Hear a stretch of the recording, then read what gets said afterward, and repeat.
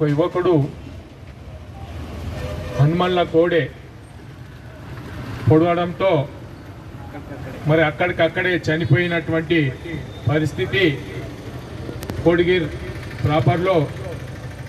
మరి కాంగ్రెస్ పార్టీ సభ్యుడైనటువంటి చిత్తర్ గజేందర్ గారికి మరి కాంగ్రెస్ పార్టీ సభ్యత్వం ఉన్నటువంటి వాళ్ళకు ప్రమాదశాత్తు చనిపోయినటువంటి వ్యక్తులకు రెండు లక్షల రూపాయలు ఇన్సూరెన్స్ ఉన్నందున మరి ఆ చెక్కును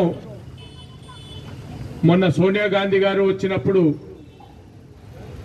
ఇచ్చే చెక్కును మరి అక్కడ కొంతమందికి ఇవ్వడం మళ్ళీ అంతమందికి కూడా స్టేజ్ మీద పిలిచి ఇచ్చే పరిస్థితి లేదు కాబట్టి ఎక్కడికక్కడ విలేజ్లోనే ఇచ్చి వాళ్ళ యొక్క ఆత్మకు శాంతి కలగాల. మరి భార్య పిల్లలు ఉన్నారు కాబట్టి వాళ్ళందరూ కూడా కాంగ్రెస్ పార్టీకి చేసినటువంటి సేవలను మరి మరవలేక మరి ఇటువంటి ఇన్సూరెన్స్ కార్యక్రమం కాంగ్రెస్ పార్టీలోనే ఉంది. మరి వేరే పార్టీ వాళ్ళు కూడా చేశారని కానీ కానీ ఇప్పటిదాకా మాత్రం ఎక్కడ కనబడలేదు. కాంగ్రెస్ పార్టీలో మాత్రం మరి ఎల్లారెడ్డి కామారెడ్డి నిజ కామారెడ్డి మద్దూర్ మరి బాన్స్వాడ కాన్స్టిట్యున్సీలో మరి ఈ చెక్కుల పంపిణీ జరిగింది. మరి ఈరోజు కోటిగిరిలో వాళ్ళకు స్వయంగా వాళ్ళ భార్యకు పిలిచి మరి చెక్కులు అందజేశారు మా అధ్యక్షుడు.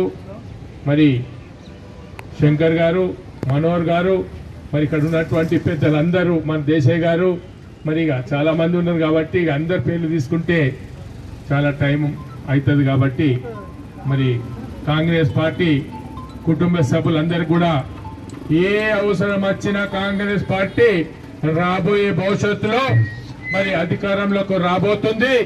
కర్ణాటక ఎలక్షన్ తర్వాత మనం చూసినాం రేవంత్ రెడ్డి గారి నాయకటువంటి జనాలు మరి రావడం జరిగిందంటే మరి అప్పటి నుంచే టిఆర్ఎస్ పార్టీలకు ఏదో విధంగా లోపల అరే కాంగ్రెస్ పార్టీ గెలుస్తుంది ఇక్కడ.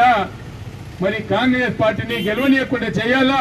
మరి ఎంతో కొంత కుట్ర అనేది జరుగుతుంది. కానీ ఆ కుట్ర అనేది ప్రజలలో ఏది పనికిరాదు.